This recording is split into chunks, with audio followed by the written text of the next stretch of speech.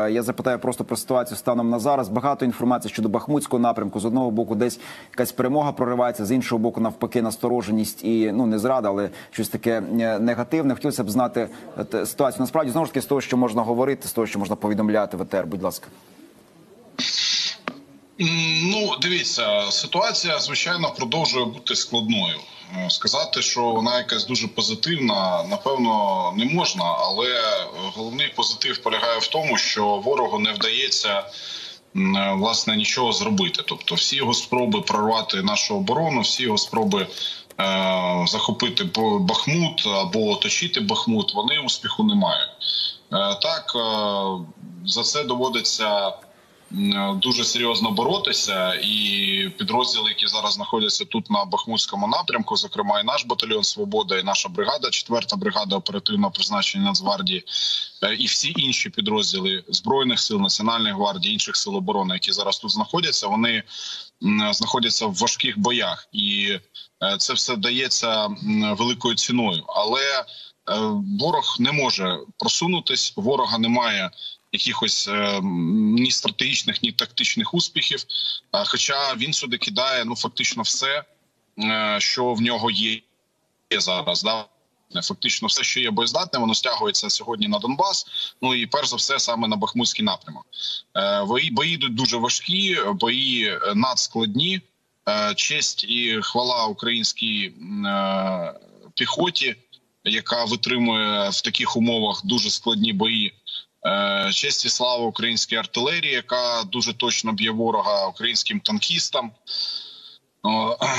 Тільки що побачив знайомі місця е, в вашому відео. Але можу сказати, що, попри все це, е, ситуація ну, але контрольована. Я би так охарактеризував. Я от про що запитаю. Повідомляла сьогодні, що ворога почала з'являтися не танки Т-62, які масово кидали на фронт, розконсервовуючи ще з часів радянського союзу. А зараз, нібито, знову з'являються ну в чималій кількості сучасні танки Т-90. Я пізніше запитаю Сергія Згурця, де вони ці танки взяли раптово. Але я зараз запитаю вас, чи дійсно це так і є, чи ці новітні танки значно ефективніші і ну небезпечніші в бою ніж ось ці е, хрущовські Т-62. Будь ласка. Ну не треба думати, що у них взагалі не лишилося сучасної техніки. Звичайно, і значно менше ніж було 24 лютого, тому що за е, вже ці майже 10 місяців повномасштабної війни втрати їхні величезні, і втрати в їхній техніці величезні. Але якщо ми говоримо про танки, то ну насправді е, танк звичайно модернізований, сучасний, там де є сучасне обладнання, е, сучасні засоби прицілювання, сучасні сучасна оптика, прилади нічного бачення і так далі. Е, Він буде значно ефективніший старий немодернізований радянський танк.